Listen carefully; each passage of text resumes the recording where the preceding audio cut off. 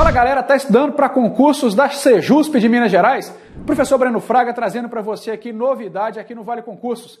É a promoção, é o pacote 3 em 1 da Sejusp. Três cursos por apenas aí 367 reais. Polícia Penal de Minas Gerais, Socioeducativa e Auxiliar Educacional. Todos os três cursos em apenas um aí, 367. Vem estudar com a gente rumo à aprovação. Tamo junto aqui, vale a pena. Valeu! Comigo, pessoal! Professora Angélica chegando aqui agora, uma dica maravilhosa para você que está aí do outro lado, né? Aqui no canal do Vale Concursos. É sempre bom, né, saber e dizer para você que é uma honra saber que você está aí do outro lado, né, destinando o seu tempo aí a estudar, a somar conhecimento, adquirir conhecimento conosco. E eu, professora Angélica Vasconcelos, estou aqui juntamente com você para isso, né? Para a gente poder dialogar um pouquinho aí sobre as nossas condições, né? sobre o que a gente vai falar, o que a professora Angélica preparou para este nosso encontro aqui hoje. E é isso, viu? Bom estudo, boa sorte. O assunto de hoje, sabe qual é? Redação. Olha aí o assunto de hoje. Essa daqui é bomba, hein? Muita gente está visualizando português, português, português. O assunto de hoje aqui é redação. Mas antes da professora Angélica conversar com você, é o seguinte, né? Porque nós temos aí como ponto, assim, olha só, olha o que, que a gente tem aí, né? O que é, você deve dominar para sair bem na redação, né? O que, que a gente deve dominar para a gente poder, vamos dizer assim, sair 100% ou tentar pelo menos eh, chegar aos 99 aí, né, na redação. O que, que a gente deve dominar? É, qual é o domínio que nós devemos ter?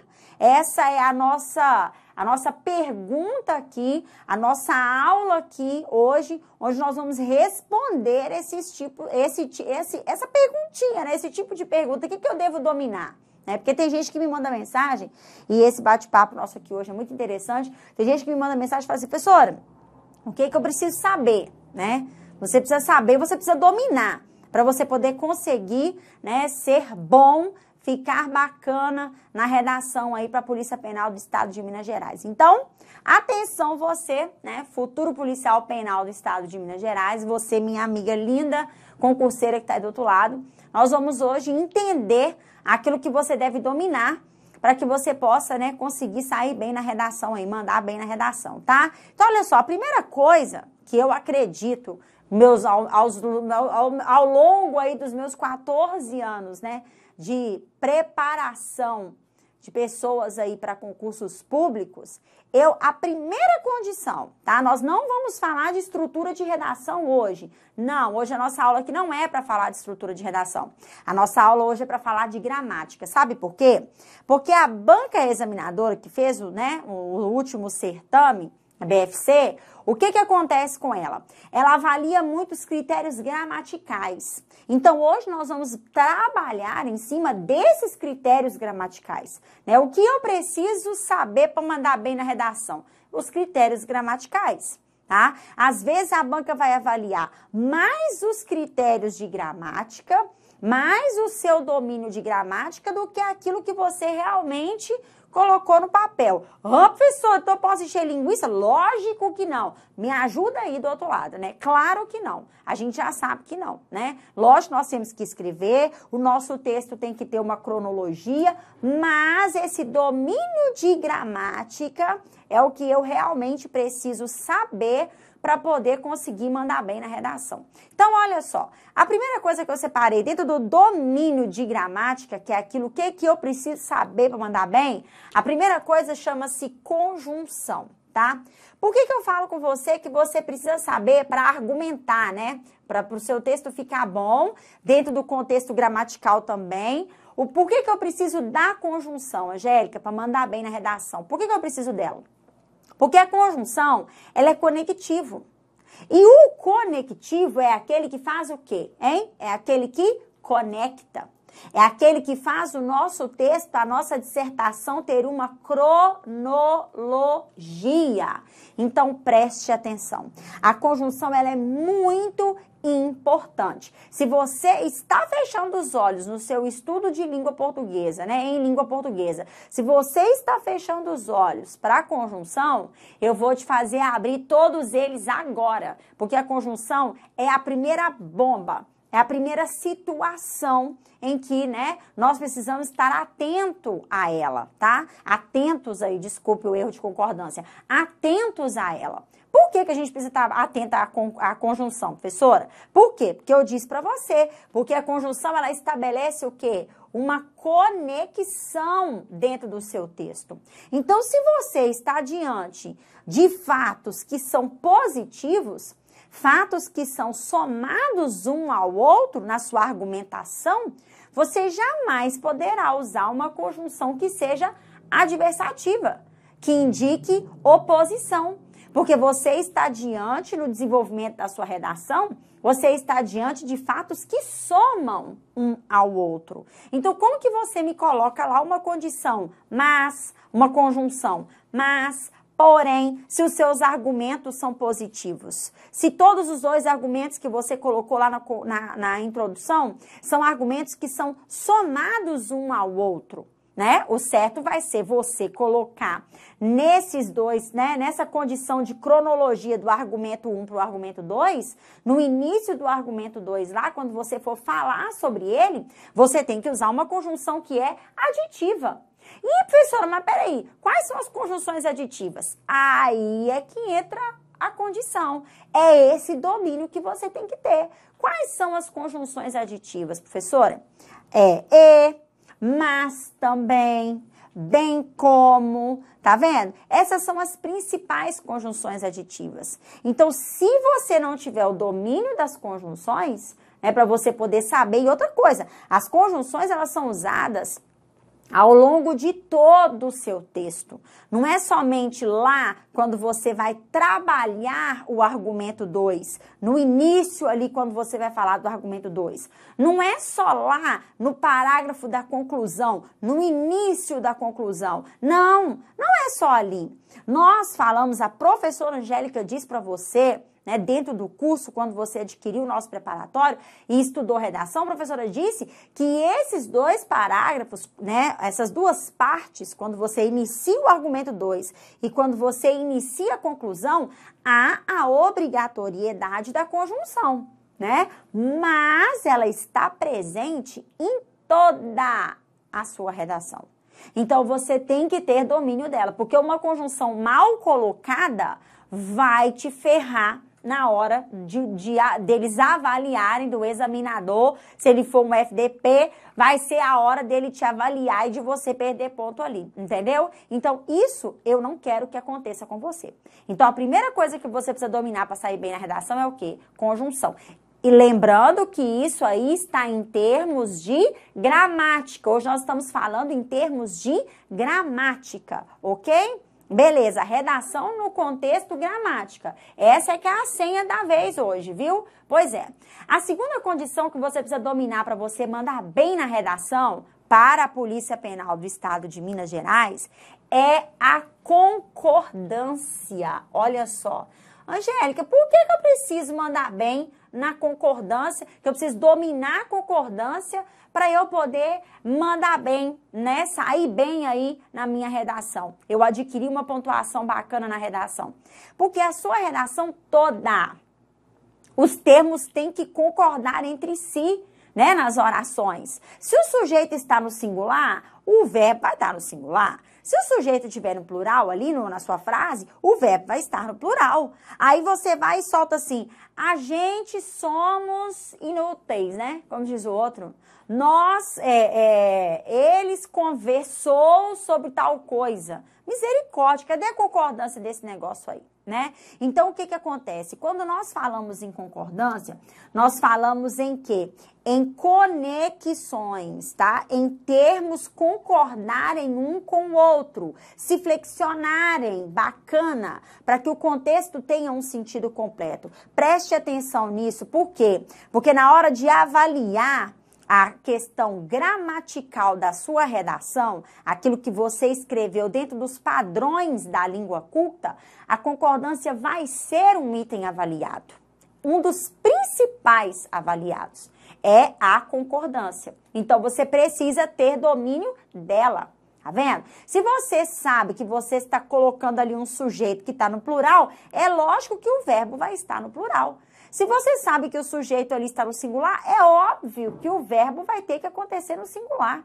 Entendeu? Lógico que tem particularidades, né? Porque a gente sabe aqui que dentro da concordância nós temos aproximadamente 60 regras que nós temos que estudar. A professora Jair, pelo amor de Deus, não me apavora, não. Esse bate-papo aqui já não tá ficando bacana. Tá sim, ele tem que ficar bacana. Você tem que assistir até o final. Porque não adianta você correr, não. Aqui é onde o filho chora e a mãe não vê. É verdade. Pois é, se você fizer uma redação, eu, né, ao longo aí dessa minha caminhada, preparando pessoas para concursos públicos, tanto online quanto presencial, eu recebo muitas, já recebi muitas redações, já nem sei, nem perdi até as, a conta já de quantas redações eu recebi, inclusive tem uma remessa de redações para entregar, né, via online aí, num projeto online de correção de redações que eu tenho. Então, o que que acontece? Eu vejo redações diariamente com erros de concordância.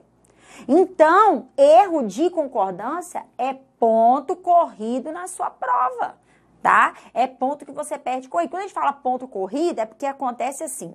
Se você tiver um erro de ortografia e ele for igual, a banca, se tiver 10 erros iguais de ortografia, ortografia, a banca vai tirar um ponto só. Mas no resto, Cada erro que é distinto, óbvio um do outro, vai ser ponto corrido que você vai perder. Então, vamos abrir o olhão de Tandera, né? Tem gente que faz uma concordância lá cabulosíssima, né? Os ministros deu conta de tal coisa. Peraí, os ministros deram conta, né? Pois é, você não vai colocar o negócio errado. Então, vamos trabalhar essa concordância aí. Não adianta nada. Tem aluno que eu viro com a cara que eu não passo aqui nela mesmo e falo assim aqui: tem como você refazer essa redação e me mandar? Para eu poder fazer a correção para você? Pois é, porque assim fica mais fácil, né? Porque se eu for corrigir ali, eu não faço correção nenhuma, vou, vou ganhar o dinheiro do aluno ali, eu não quero isso. Eu quero que o aluno vai fazer o negócio bonito para eu corrigir aquilo que tá bacana. Né? Se ficar tão ruim, eu nem vou gastar meu tempo e nem o dinheiro do aluno. Eu viro para ele e falo assim, ó, vou te devolver, você vai fazer o favor de refazer e me enviar para eu corrigir para você. Tem coisas lá erradas e gravissimamente erradas, tá? Então, muito cuidado que isso aqui é o outro ponto que você tem que mandar bem. Fechou? Você tem que ter domínio, do, domínio, né? Assim, que você deve dominar para você poder mandar bem aí na sua redação. Fechado? Agora vamos lá continuar o nosso bate-papo, porque ainda não acabou. Nós temos outro ponto, que é com relação ao uso da vírgula na questão da pontuação.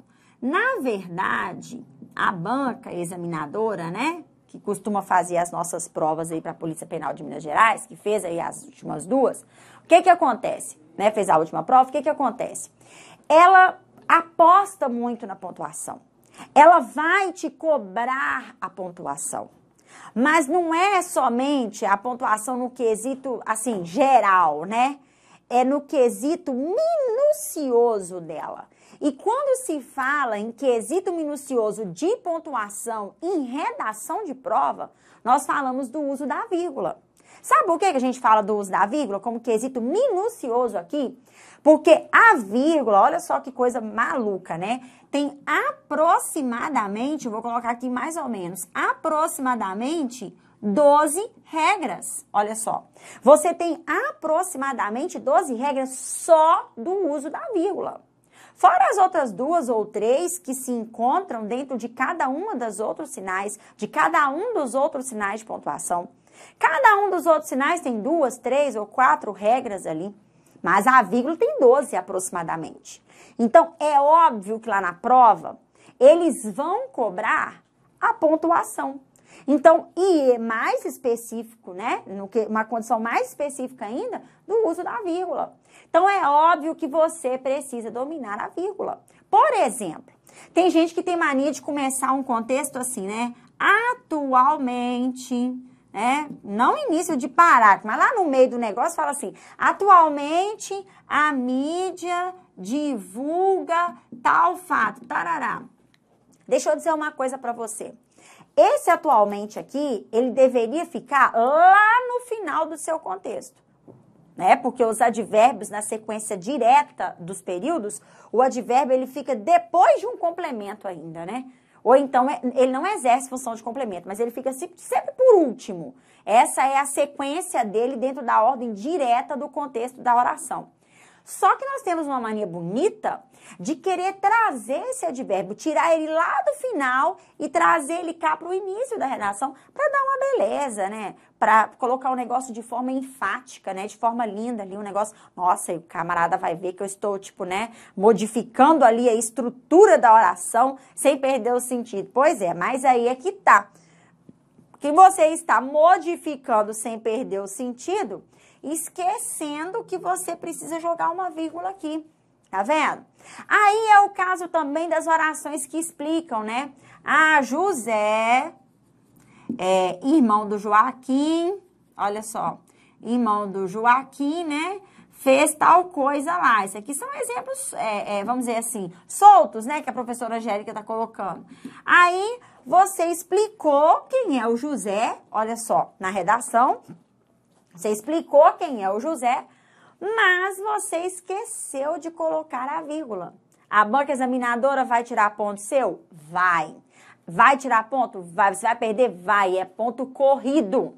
Por quê? Porque faltou aqui, ó, todo aposto, ou toda expressão explicativa, ou toda expressão que, né, que corrige, né, que é ali, vamos dizer assim, que é uma expressão que está corrigindo, explicando alguma coisa, exemplificando alguma coisa, deve vir isolada por vírgulas no meio do contexto. Aí, se você não coloca isso aqui, você trava ali e perde o ponto na redação.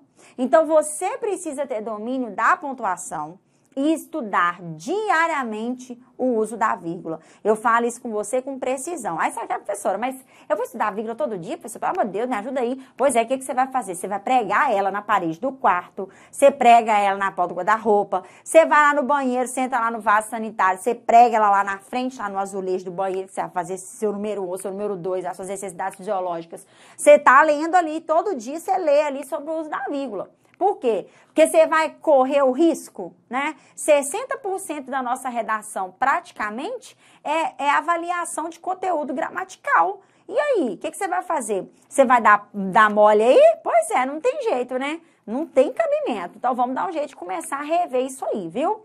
O que mais eu preciso saber, professora Angélica? Mais eu preciso dominar para eu poder é, mandar bem na redação. O que mais eu preciso dominar aí, professora Angélica? Olha só o outro quesito, ó, regência. Principalmente no uso da crase. Cuidado com a crase, porque a crase é o maior BO de prova de redação. Hoje eu vou falar com você que no contexto atual das redações que eu recebo para fazer correção delas, o que mais faz o povo perder ponto é a bendita da crase. É aquele acento grave que falta ali no ar para poder deixar o negócio certinho ali. Então, o que que acontece? Você já estudou português, não estudou? Você está estudando português, não está? Está. Você adquiriu o curso do Vale Concursos, não foi? O preparatório. Inclusive, eu quero te convidar, tá? Você que está assistindo esse nosso bate-papo aqui, né? Do que você precisa dominar para mandar bem na redação em questão de gramática, tá? É, você que está assistindo aí, que ainda não está inscrito no nosso canal, inscreva. Aperte o sininho das notificações, viu? Pois é.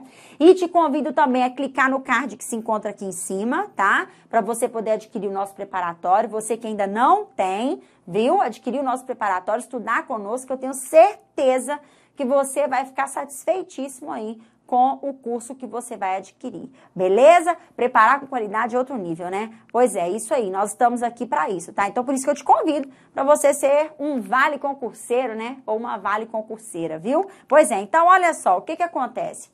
Às vezes, nós deixamos de colocar a crase no ar, né? Tenho amor a fulana de tal, e aí esquece da crase no ar. Tem muita redação que o povo fala assim: ah, esse negócio de ortografia mesmo, esse negócio de acentuação gráfica aí, houve esse novo acordo, então vai ser melhor. Vai me dizer que você não pensa isso às vezes. É melhor não colocar acento em nada e deixar o pau quebrar, porque é isso que eu recebo como notícia no, no, meu direct no Instagram. Ah, professora, eu achei melhor nem colocar acento nesse negócio, nada. Não coloquei acento porque eu, eu não lembro as regras, então achei melhor não acentuar, foi nada. Aí a crase vai lá e vai e dança também. Aí deixa eu te falar uma coisa, né? Que é um grande problema aqui. Você deixa dançar a crase, isso aqui é um acento, né? Óbvio. Mas o ponto que você está perdendo lá é o ponto da crase tá? Então, muito cuidado com isso, viu? Porque se a banca avaliar como ponto da crase e o fato da crase, né, não ser acentuação gráfica, você pode ter erro corrido viu? Se o examinador no fotãocabuloso.com avaliar como erro de acentuação gráfica, que às vezes isso acontece, eles avaliam como, como erro de ortografia, você deixou de colocar um acento, aí não tem problema. Se errar 10 crases lá na mesma condição, você vai perder um ponto só, geralmente, né? Mas muita calma de acordo com isso aí, viu? Muita calma com isso, porque o negócio é triste, tá? E nós estamos aqui querendo que você seja bem sucedido nas redações que você for praticar aí. E não deixar para a última hora, não, viu? Isso aí é o mais importante, tá? Outra condição que eu quero colocar aqui, que você precisa dominar também, que prejudica muito o candidato, tá? É, enquanto gramática, né, na redação, principalmente aí, né, para a Polícia Penal de Minas Gerais, é a colocação dos pronomes oblíquos átonos, ou seja, a colocação pronominal, tá? Tem gente que bagunça o negócio todo. Você sabe o que é isso aqui? Isso aqui é aquele negócio de próclise que você estuda lá no pronome, ó. Próclise é a mesóclise, olha só. E é a ênclise, olha aí. É isso aqui, tá? Isso aí é a tal da colocação pronominal que você precisa saber, que você precisa ter domínio. Então presta atenção. Tem gente que mistura esse negócio, que faz uma bagunça danada, que joga ênclise no lugar que tem que ser mesóclise, que faz próclise no lugar de ênclise, e que não tá nem aí para colocação do pronome, onde ele foi parar é aquele lugar ali mesmo que vai ficar, e fim, e deixa a professora Angélica corrigir para eu ver o que, que vai acontecer, né? Assim, tem gente que fala assim, professora, ah, viu, mas eu fiz esse negócio, vamos ver se tá certo aí. Aí é a hora, né, que eu fico louca lá do outro lado, porque eu tô vendo que o negócio tá errado e eu tô vendo que o aluno aprendeu o negócio direito, para poder colocar na redação. O que que acontece?